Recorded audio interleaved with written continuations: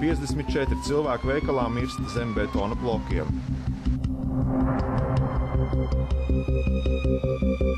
No augšas labi redzama ēkas vājā vieta.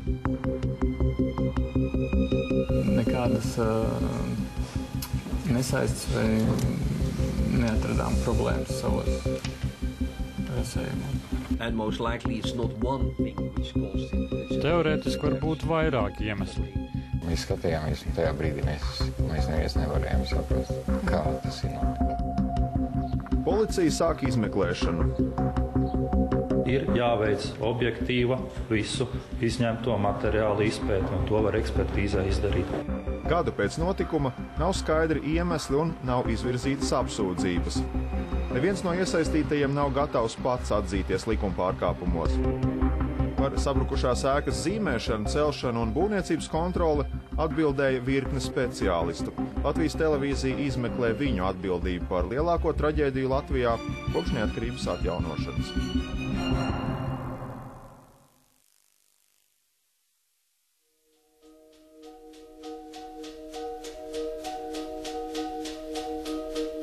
Uz šādām metāla konstrukcijām, būvnieku valodā sauktām par kopnēm, gulēja Maksims veikala jumts.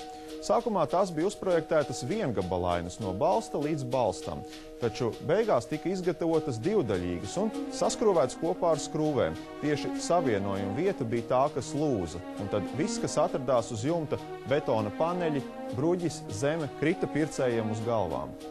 Kopnis krita kā domino kauliņi.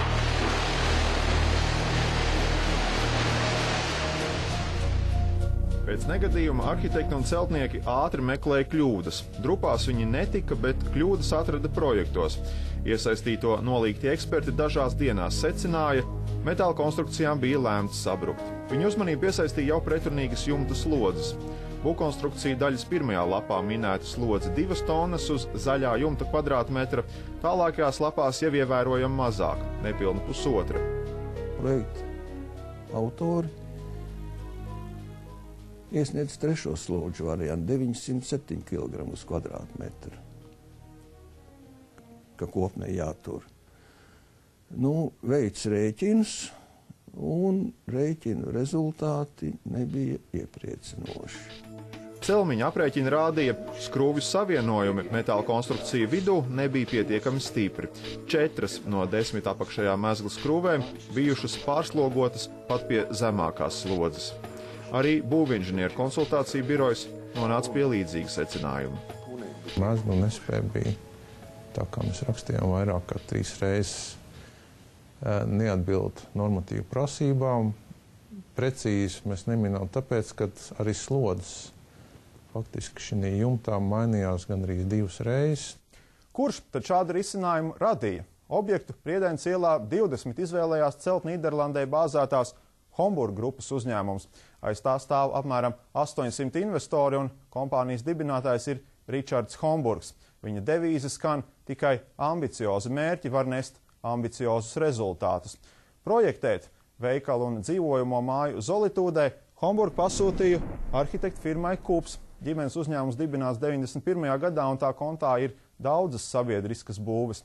Zolitūdas projekta vadītājs bija arhitekts Andris Kalīnka. Kups pats uzņēmās projekta arhitektūras daļu, bet būvkonstrukcijas zīmēt nodeva tālāk HND grupai. HND grupas īpašnieks Ivars Sergets arī kļuva par projekta būvkonstrukciju daļas autoru. Pirmajā piegājienā Sergets bija uzzīmējis nedalītas 16 metrus garas kopnes. Tās redzamas arī rasējumos. Kā sabiedriskai būvēi projektam bija jāiziet cauri arī ekspertu sietām. Būvkonstrukcijas Sergets lūdza pārbaudīt Andrim Gulbim. Viņš ir nozarē zināms būvkonstruktors un abi sastrādājušies jau iepriekš. Uz vienīgās pieejamās ekspertīzes lapas minēts, ko Sergets Gulbim pārbaudē iesniedzis. Cita starpā minētas arī kopņu piepūles. Pēc nu, tā, jūsu aprēķiniem sanāk, ka tā, tā vienlaikus kopne, ka tā būtu turējusi visu to svaru, ko jūs ekspertējāt. Mm, nu, tur sarežģīti, lai to tā, ka, nu jā, principā, jā, bet uh, es viņu ekspertēs nesu tā kā to kopu.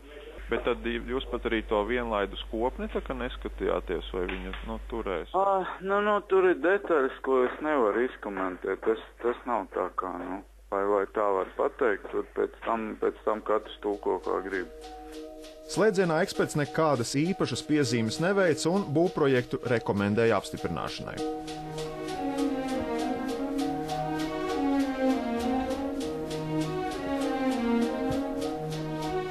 Tobrīd, 2010. gadā, neviens normatīvs nepaskaidroja, kādai ekspertīzei jāizskatās. Tādu to uz vienas lapas kopā ar tehnisko projektu arī iesniedza šajā ēkā Rīgas pilsētas būvvaldē. Vairāk iesaistīties stāsta, ka tobrīd kopnes vēl nebija sadalītas, bet pilnīgi droši par to mēs nevaram būt, jo iesniegtajos dokumentos tās ir uz